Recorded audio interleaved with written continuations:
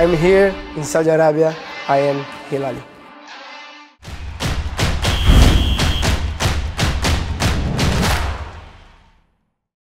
Ngày 11 tháng 8, Saudi Pro League, giải bóng đá cao nhất Ả Rập Xê Út bắt đầu khởi tranh mùa giải 2023-2024.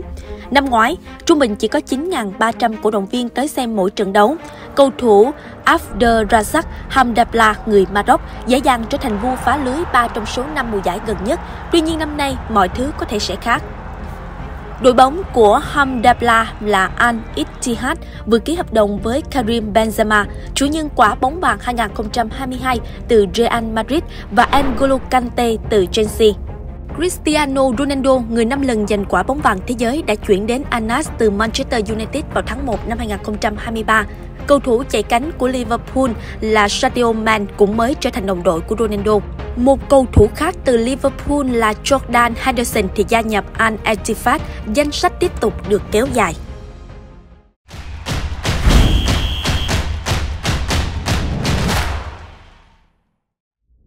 Các câu lạc bộ ở Ả Rập Xê Út đã chi trên dưới 600 triệu đô la Mỹ cho kỳ chuyển nhượng mùa hè này, đưa họ trở thành một trong những giải đấu vung nhiều tiền nhất toàn cầu.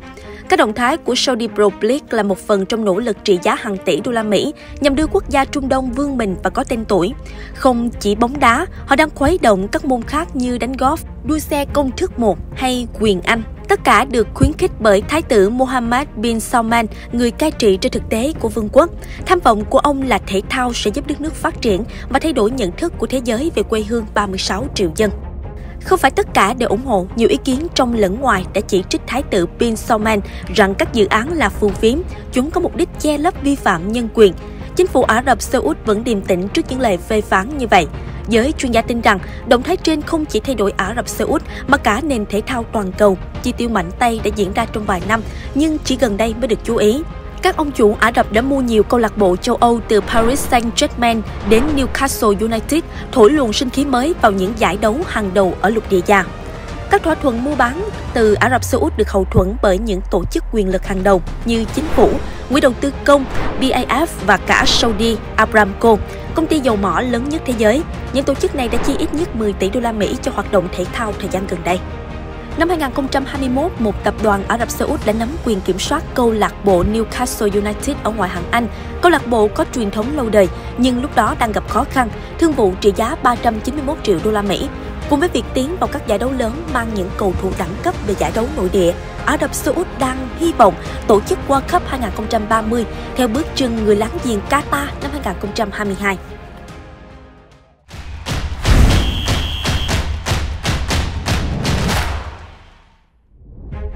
Không thể phủ nhận, nhiều thành viên chủ chốt trong Hoàng gia Ả Rập Xê Út rất mê thể thao. Họ muốn được coi trọng trong giới thượng lưu, có cùng đam mê trên thế giới. Ví dụ, ông Yashir Al-Rumayyan, lãnh đạo quỹ đầu tư công BAF đầy quyền lực, là một người thích chơi golf. Giới chức Ả Rập Xê Út hay theo dõi bước đi của các nước láng giềng để tạo động lực cho chính mình. Ví dụ Qatar chi 200 tỷ đô la Mỹ để tổ chức World Cup 2022, nhiều hơn tất cả các giải đấu trước đó cộng lại. Manchester City, câu lạc bộ vừa đoạt cú ăn ba mùa trước, hiện là thương hiệu bóng đá giá trị nhất thế giới. Thuộc sở hữu của hoàng gia Abu Dhabi của các tiểu vương quốc Ả Rập Thống Nhất UAE. Ả Rập Xê Út có tiềm lực mạnh hơn các nước láng giềng rất nhiều. Giá và sản lượng đều tăng trong năm nay, nghĩa là xuất khẩu dầu mỏ của họ có thể vượt qua 166 tỷ đô la Mỹ, tương đương 16% GDP. Quá trình chuyển đổi năng lượng toàn cầu đang diễn ra, Ả Rập Xê Út xác định tầm nhìn 2030 với mục đích đa dạng hóa nền kinh tế, giảm phụ thuộc dầu mỏ, tăng các lĩnh vực khác như du lịch và khoa học công nghệ. Do đó, chiêu mộ những ngôi sao hàng đầu thế giới, phục vụ mục tiêu dài hạn đó, mỗi bài đăng trên mạng xã hội của các ngôi sao có thể giúp hàng triệu người biết đến Ả Rập Xê Út hơn và hàng ngàn người sẽ tìm sang để du lịch khám phá. Hiện nay, quỹ đầu tư công BIF của Ả Rập Xê Út có lượng tiền lên tới 700 tỷ đô la Mỹ, được giao một phần nhiệm vụ cải tổ nền kinh tế thông qua thể thao. Chính phủ Ả Rập Xê Út muốn giải đấu Saudi Pro League phải thu hút vốn đầu tư và người hâm mộ nhiều hơn. Chính phủ đặt mục tiêu tiếp đón 100 triệu du khách quốc tế vào năm 2030 so với 64 triệu vào năm 2021. Các quan chức cũng hy vọng giải đấu sẽ tăng gấp 4 lần doanh thu vào thời điểm đó, lên 480 triệu đô la Mỹ nhờ quảng cáo, bán bản quyền truyền hình, tổ chức sự kiện hoặc bán vé. Việc mua những ngôi sao hàng đầu đóng vai trò quan trọng Giới chức Ả Rập Xê Út cũng hy vọng thể thao sẽ lan tỏa tới phần còn lại của nền kinh tế. Không kể du lịch thì đó là nhà hàng khách sạn, giao thông vận tải, xây dựng, y tế và giáo dục. Điều quan trọng khác, thể thao giúp giảm hình ảnh một nơi xuất thân các chiến binh khủng bố. Thay vào đó vẽ nên viễn cảnh vùng đất hiền hòa, hiếu khách và yêu chuộng hòa bình. Sự thật đây là ước mơ của cả khu vực Trung Đông suốt hàng ngàn năm qua. Riêng du lịch đặc biệt được chú ý năm 2019, ngành công nghiệp không khói đóng góp 3% GDP. Chính phủ Ả Rập Xê Út đặt mục tiêu tăng lên 10% vào năm 2030. Thông qua các ngôi sao được xem là cách cánh ngành du lịch hiệu quả nhất. Những con số đã thống kê sau khi Lionel Messi du lịch Ả Rập Xê Út rồi đăng hình ảnh lên mạng xã hội Instagram với 482 triệu người theo dõi, đã thu hút hàng trăm ngàn người đến quốc gia Trung Đông này để tìm hiểu khám phá. Tháng 8 năm 2023, tiền đạo Neymar thông báo sẽ chuyển từ Paris Saint-Germain sang Ả Rập Xê Út chơi bóng. Ngoài khoản lương khủng 160 triệu đô la Mỹ mỗi năm, thì anh còn nhận hàng loạt các đặc quyền khác như là có máy bay riêng, biệt thự riêng, thưởng 80.000 euro cho mỗi trận thắng của Al Hilal. Và đặc biệt, mỗi bài quảng cáo về đất nước và con người Ả Rập Xê Út của anh trên mạng xã hội sẽ nhận được 500.000 euro. Bên cạnh đó, một lợi ích không thể đong đếm được là sự xuất hiện của Neymar hay Ronaldo giúp thu hút các cơ quan truyền thông toàn cầu đưa tin nhiều hơn về Ả Rập Xê Út. Gần như mỗi trận đấu, mỗi bước chân của họ đều được tường thuật. Sự xuất hiện của người nổi tiếng cũng thúc đẩy cải cách xã hội. Các ngôi sao như Ronaldo hay Neymar đều mang theo vợ con tới sinh sống. Phần lớn họ chưa kết hôn. Luật pháp Ả Rập Xê Út quy định chỉ sau khi chính thức kết hôn mới được sống chung, do đó mọi thứ phải được điều chỉnh để linh động. Những điều khoản khắc khe với phụ nữ đang dần được thay đổi. Ví dụ phụ nữ có thể lấy xe vào năm 2018 hay đội tuyển bóng đá nữ đã được thành lập. Tất cả điều này giúp cho quốc gia Trung Đông hấp dẫn hơn trong mắt nữ du khách quốc tế. Một thực tế rõ ràng các ông chủ Ả Rập đã cho thấy tài năng trong việc điều hành doanh nghiệp thể thao. Manchester City vừa qua họ đã giành cú ăn 3 lần đầu tiên trong lịch sử, gồm ngoại hạng Anh, cúp FA và châu Âu Champions League. Newcastle United đang gặp khủng hoảng, mấp mé xuống hạng sau khi rơi vào tay nhà đầu tư Ả Rập Xê Út. Mùa giải đầu tiên đã thoát khỏi khu vực có nguy cơ xuống hạng. Mùa giải thứ hai đã vươn lên top 4, đủ điều kiện tham gia châu Âu Champions League sau 20 năm.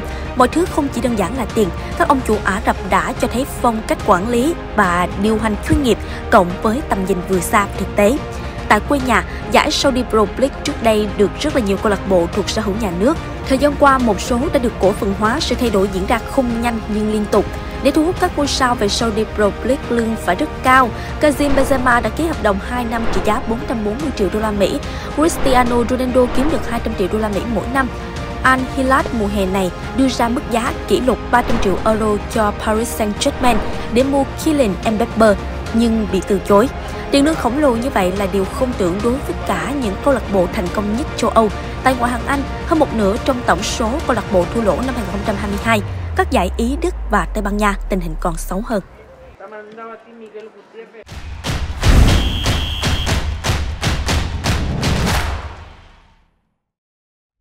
Nhân nguồn dầu mỏ dồi dào, tiền hiện không phải là vấn đề với các câu lạc bộ Ả Rập Xê Út.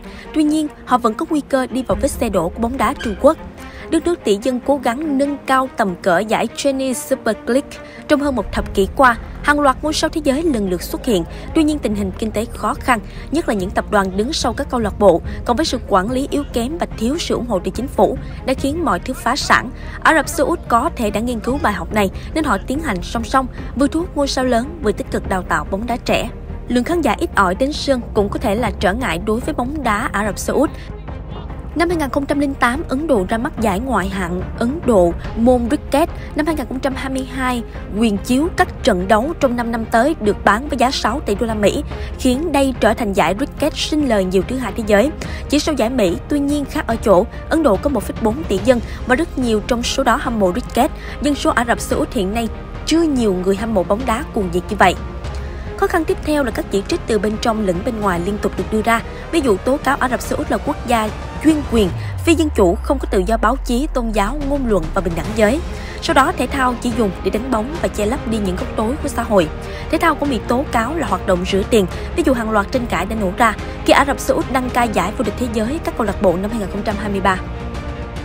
Nhìn lại lịch sử, nhiều chế độ độc tài đã tận dụng thể thao cho mục đích chính trị. Ví dụ phát xít Ý với sự dẫn dắt của Mussolini đã làm với World Cup năm 1934 hay phát xít Đức với Thế vận hội năm 1936.